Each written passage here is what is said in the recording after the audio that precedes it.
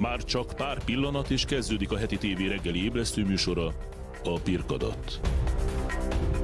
Ön a Pirkadatot, Magyarország legújabb reggeli műsorát látja. Élőben a stúdióból jelentkezik Brajer Péter.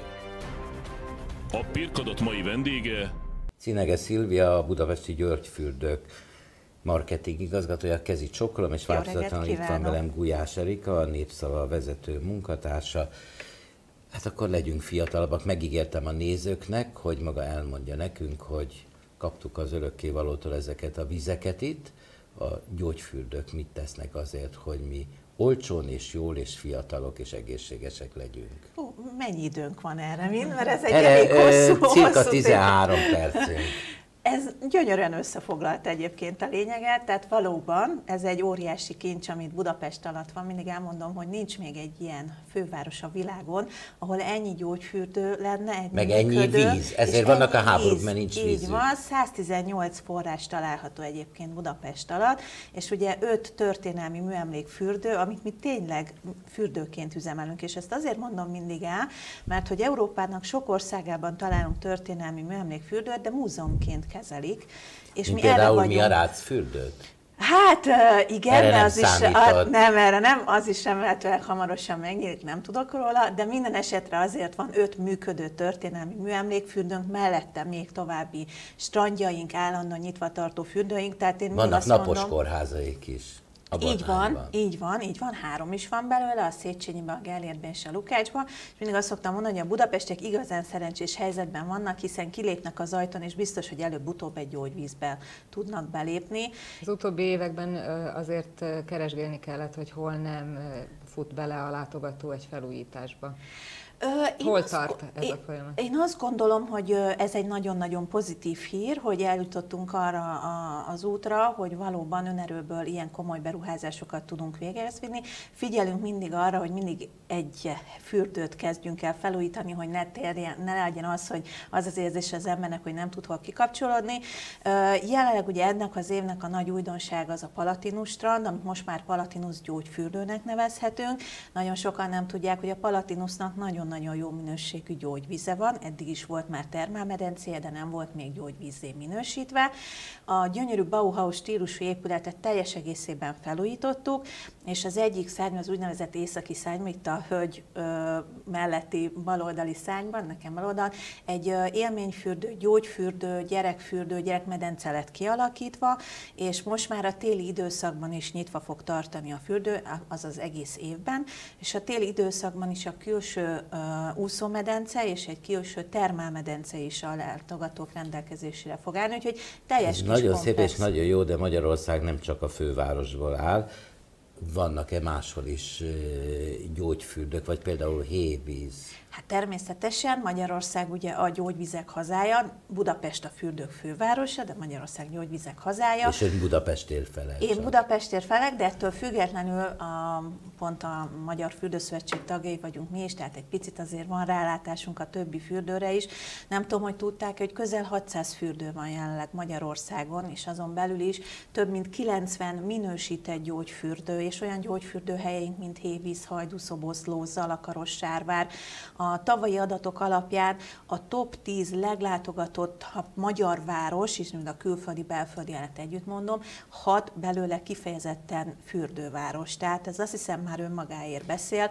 Az emberek tudják, hogy mit tud a gyógyfürdő, de nem, elég, nem eleget beszélünk róla. Ugorjunk vissza a fővárosba. Mi történik egy hétgyerekes családdal, ha szeretne kimenni a strandra? Apuka, anyuka és a gyerekek. Azt javaslom, neki, fizetni? azt javaslom neki, hogy akkor látogasson el a Csillaghegyi strandunkra, ahol nagyon kedvezményes, legalábbis úgy gondoljuk, 1000 forintos egységes jegyárral találkozik a kedves vendég, és pont azért tartottuk, tehát hogy azért igyekszünk, hogy ha már ilyen sok fürdőnk és strandunk van, az árpolitikánkat direkt így alakítottuk ki, hogy legyen olyan strand, amit meg tud magának engedni egy akár egy hétgyerekes család is, és a veszélyes bányatavakban való fürdés helyett válasszák a biztonságos strandolást. Csillaghegyet strandot is felújítják. Így van, a strandrész az nem érintett benne, ez egy olyan területen zajlik most a felújítás, ami eddig is úgymond a strand területének a szélén található, nem használták, használaton kívül volt. Itt bizony egy nagyon-nagyon komoly fejlesztés, szintén több milliárdokról beszélünk, önerős fejlesztésről beszélünk, egy hétemeletes csoda épül, úszómedencével, tammedencével, versenypályával, élményfürdővel, gyerekparadicsommal, szaunavilággal, én azt gondolom, hogy, hogy egy nagyon-nagyon szép fürdőegység lesz. A terveink szerint jövő nyáron már teljes egészében lehet használni, de addig is a csillaghely És utána is megmarad ez az 1000 forintos belépő?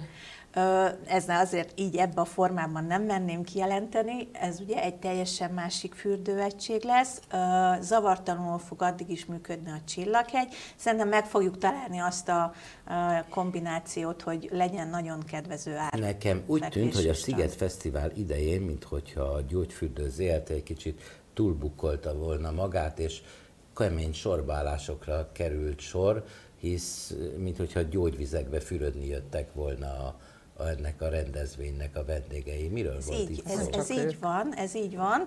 Ez nem egy egyedi eset, ez már jó pár éve így van. Jó pár éve sorba álltam három és fél órát, azóta nem járok Ajajajajaj, hát jó, hát akkor mond, pont a Sziget Fesztivál ideje, de önnek szerencsés helyzetben van, hiszen máskor is el tud menni.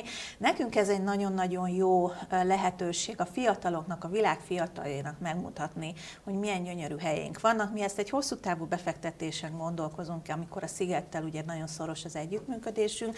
Mi úgy gondoljuk, hogy ezek a fiatalok, akik most eljöttek ide a Sziget Fesztiválra, és, és megnézték... miatt mi nem tudtunk bemenni arról a tíz napról van csak szó, de ezek a fiatalok, amikor majd családot alapítanak és elgondolkoznak azon, hogy hova menjenek nyaralni a családdal együtt, vissza fognak jönni ide Budapestre, emlékezni fognak, hogy milyen jól érezték magukat a Széchenyiben, és úgy gondoljuk, hogy a családdal együtt vissza fognak jönni hozzá. Akkor maradjunk még egy percre a napos kórházaknál. Ez egy nagyon jó kezdeményezés volt, és hogyha jók az információim, ezt egy kicsit biznisz alapon, tehát kereskedelmi alapon tovább fogják fejleszteni. Mit tud erről nekünk mondani? Ez, ez mindenféleképpen ez a célunk, tehát ez a nappali kórház, azaz komplex kezelés nyújtó egységünk.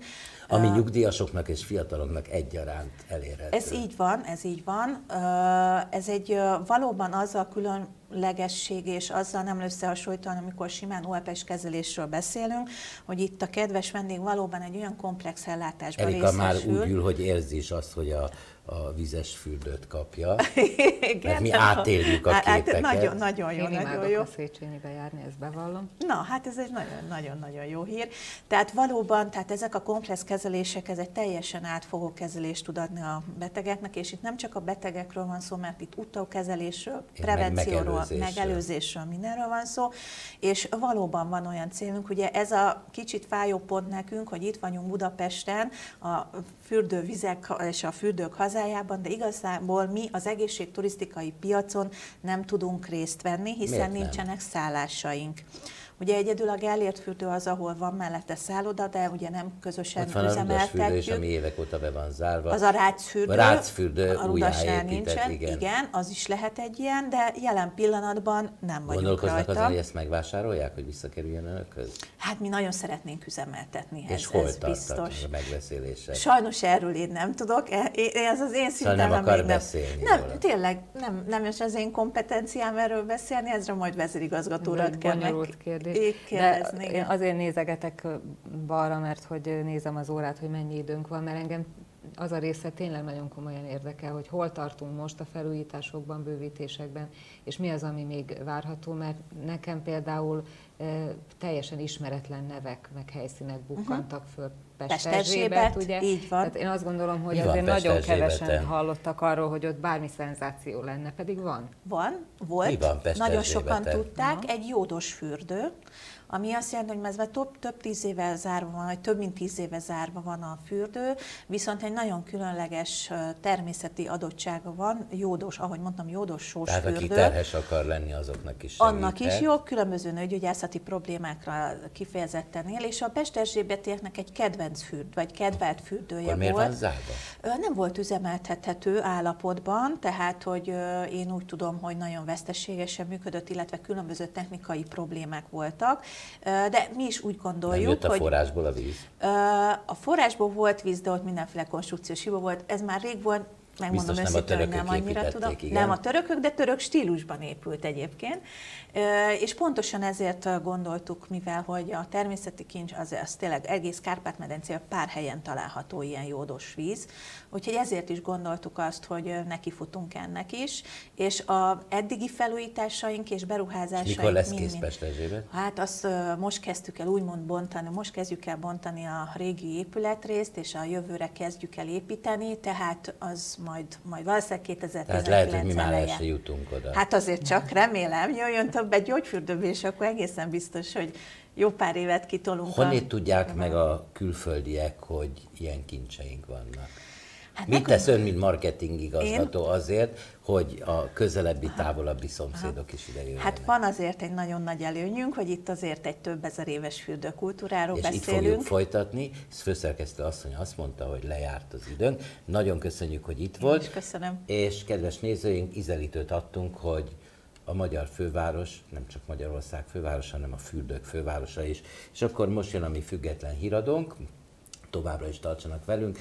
Velem legközelebb este 7 órakor a 7 órás vendégbe találkoznak. Erikának még egyszer gratulálunk, és köszönjük, hogy itt volt velünk, és természetesen őt is visszavárjuk, és Cinege Szilviát is, még az Köszönöm Erzsébet szépen. fürdő megnyitása előtt az új Szuper. hírekkel, és akkor jöjjön a híradó.